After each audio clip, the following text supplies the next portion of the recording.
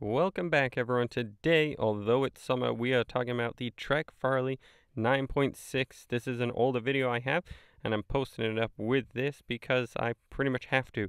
There is no fat bikes for me to ride. There's snow around, but I have no way of getting one just because of the whole pandemic situation, bike shortage. So the 2022 Farley 9.6 has stayed relatively the same, but one, its color is completely different and different from any other Trek bike and pretty much any other bike on the market. This has like a four-tone color to it and it looks really good. It looks even better in person, but that's for everyone to decide, not just me. Overall, as it's the 9.6 version, this means it is a carbon fiber fat bike. It's built for speed and it's going to roll fast. Depending on what size you get, you will get a variety of tire sizes. So on the large and bigger, you go into 4.5s on the front and rear, and on the medium, you do go to a 3.8 on the rear. It does look as if there might be just enough clearance for a bigger tire on the rear, but obviously I'd assume at lower pressures you're just running the chance of tire touching the frame. So that's something to be aware of. Depending which one you get right off the bat, it might look kind of like a mullet bike just because of that tire size difference. The rims stay the same, but the tire is completely different. So, the Trek Farley 9.6 has been a pretty popular one throughout the years. One of my first videos I actually have out is of the 9.6 Crash and Ride. I'll link that around. It's pretty entertaining. It was a fast, responsive bike. They haven't tweaked the geometry too much. Everything's relatively the same on it. What they've done is just put a more modern drivetrain on it. So it does have a 1x drivetrain. It is obviously going to a GX12 speed at this level. In the carbon levels, you pretty much have to get 12 speed. And when you're getting 9.6, Trek kind of bounces back and forth whether you get the NX or the GX. I'd assume because there's no front suspension on this one, it's just going to a straight carbon fiber front fork. Then that means they're able to put a SRAM GX level of shifting on it. That shifting is relatively fast and snappy. I've never had any issues with it. It's good enough that they were able to put an electric system to it. This bike doesn't come with the AXS, but SRAM now has that option of the GX system with AXS. Overall, it does come with the Sunringle Mulefut wheels, which seem to be the go-to wheel choice of pretty much every Trek Farley bike, and many other brands uh, looking for like a really good set of wheels. They just work really well, and they do have a 108 tooth rapid drive hub, so it is really fast engagement from the pedal stroke right to the wheel. There's none of that kind of play in it, which makes a huge difference, but at the same time, a pretty small difference. It's very noticeable when you notice it, but if you're not paying attention, you might never notice it. Still, it's a nice little, nice little uh, upgrade to it. They have the Barbegazi tires on them, so that's one of the biggest differences between this and a Farley 5. The Barbegazi is a non-studdable tire, whereas the Farley 5 actually comes with a studdable Gnarwhal. You're able to actually put studs in that, get better traction, this one truly is a trail bike. It's designed for the off-road trails where studs are helpful, but for the majority of the time, it's not. Um, if you're getting relatively good snow conditions where it's not melting and rock solid ice, the studs aren't going to add a huge amount of grip to it. So there's no real point in having them. This way you'll get a faster rolling tire in the summer and still a good tractionable tire in the winter, which cuts the price down, but not that much. They're still pretty expensive for mountain bike tires. Overall, it's got a really stable design to it. It's designed that you can actually adjust the rear wheel length so you can push it back and forward and adjust along horizontal sliding dropouts. This makes it for either really long and low for stable, easy climbs or just stable, easy rides, or you can really tighten it up to get a very similar to like an X-Caliber or Trail XC bike that Trek also has. The dropper post on it is very fast reacting. It's nothing too fancy, but it's definitely got a good spring in there. You can feel how hard it actually pushes. It is a really nice one to, to use. I've played with it and it does work quite well. It is a tubeless ready setup, so that's great. Um, you'll be able to run that really low. I've not seen too much information on temperature ranges for tubeless fluid. Eventually, you have to assume it's going to freeze. Um, or at least slush up and not become as effective as it once was. Obviously, being winter, you may be in more snow conditions, so there's less chance of needing that fluid. But it's something to kind of take into consideration as you buy this bike. There may be more maintenance to it, or it might not seal every puncture through a thorn and such at the lower, lower temperatures. And again, I'm not actually sure the temperature range of mountain bike fluid. It's uh, going to be different throughout each one. They do have that Bontrager switch axle, which I like. Just means that rear wheel has a removable Allen key built into the hub or into the axle, and that comes out to remove the front wheel as well. It just gives that front end a really clean look, and that's something I like. Just keeping things simple. The less things in the way, the better it looks. Downside to the fat bikes is they do have the cables on the outside not 100% sure. Heard some stories over the time that it's due to maintenance and it's there's going to be less overall issues with fluid like salt or snow melting inside the frame. As well, I guess the cables are going to be easily switched. So, because it's a fat bike and you might be commuting with this more, you may have to change cables more often because of the grime and grit.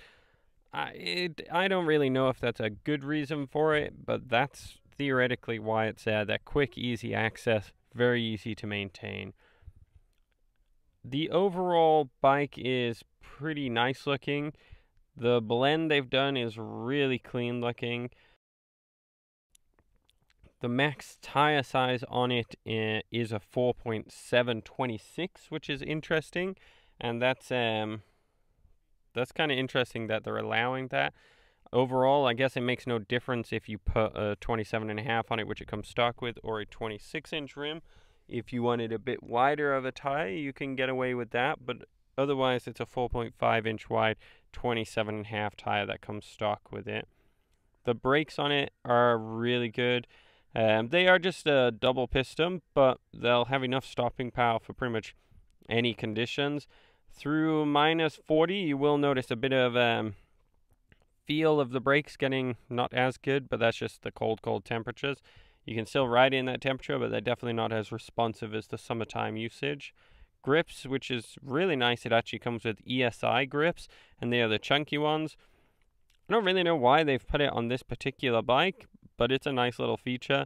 In cold weather, you know, rubber grips are going to harden up and potentially become very stiff, whereas the ESI foam grips will still stay pretty soft and allow a feel through the bike and comfort. So that's most likely why they chose it, you know, pushing towards the winter usage of things. The overall weight of it with um, sealant and no tubes and such is 28.66 pounds, which is not bad. It's actually a pretty lightweight bike. Obviously, this one doesn't have a front fork. It is just all carbon fiber. The tires are going to be the heaviest unit on it, but getting rid of those tubes actually saves probably a pound and a half of weight, which is pretty impressive overall. So the Farley 9.6 is for who? Let's talk about it. The Farley 9.6 is realistically for someone who wants a fast rolling bike in the summer and a fast rolling bike in the winter. It's definitely going to be one of the faster bikes in general on snow. Most other brands make snowworthy bikes to be a little more slower and surviving the winter and adventuring, whereas Trek is really designing these bikes for the groomed, trail conditioned um, riders who are used to riding fast, and this is something you can continue even though it's winter inside their comfort zone. It's going to be really nice to have that fit. They do have that stranglehold adjustment, so you're able to adjust it. So realistically, anyone who wants to take biking serious, this is where it is. If you're in a winter location, you have to go for it. Um, with the overall bike, you can run 29.3.0 tire and wheels. Obviously, you'd need a custom uh, wheel with a 197 rear hub width. So it is possible to make like a Stache out of this and add some sort of goofy design to it. Just that hub spacing is the only thing holding you back, but there is lots of sizes to it. The max rotor size is 210 on the front and 180 on the rear. Stock it comes with uh, 160, so this is some pretty major upgrades if you want. It has a 121 millimeter press fit bottom bracket, so it's not the threaded style like many of Trek bikes are going to. It is still press fit. I don't really have a, a decision on either or. Neither's faster than the other or better than the other. Just honestly, it's probably the last thing you need to think about is the bottom bracket, press fit or threaded. Uh, for maintenance, threaded seems like an easier idea, but it doesn't really matter. When you look at all of the bikes from Trek, this one is aiming towards the XC styling. It does keep a fast geometry, fast rolling planted. The stranglehold allows you to be a little more stable if you're going to load it up. There is not too many accessory mounts for this. Um, you can't put like a rear rack on this. Thule does make one which is like a strap on one, so you could do some adventuring with it. But overall, it is designed to make a a fast trail bike for summer and a fast trail bike for winter. This is your trail bike fat bike. There isn't some sort of fat bike in between here. It's not like a, the Farley 5 where it's a heavy lug where you have lots of options to it. This is a trail bike. It's meant to be fast, and that's what it's supposed to do. Interestingly enough, the one little feature which I picked up on that is just interesting, honestly. Not many bikes have it anymore, but this is compatible with a 2x system. It does have a mount in the frame built in for a low direct mount for front derailleurs. I have no idea what you do with that. That'd be possible to put on like a Shimano 2x12 setup from the road system or something along those lines. You're going to get really low traction and really low gearing that way. But I mean, the GX 12 speed is pretty low. It's just a cool little feature, I guess. If you're gonna do a lot with this bike, you could potentially do that. Or even in the winter, you could just put on some highway kilometers in a snowy kind of tundra. There's some big epic rides out there. We have the Actif Epica, and that one's like a hundred kilometer bike ride through the snow, through fields. And having, you know, a lot of gears for that and an extra low gear might be really nice for those extra long adventures. Alright guys, hopefully we'll get this out on the snow eventually. We'll see what happens. There's not much available for fat bikes, but we'll hopefully be able to borrow one at least. So subscribe and like if this helped you out. Otherwise, give me a shout and uh, let me know if you have any questions about this bike or any other Farleys. And uh, get your orders in because I think it's next year if you need one. Alright, thanks guys. Bye.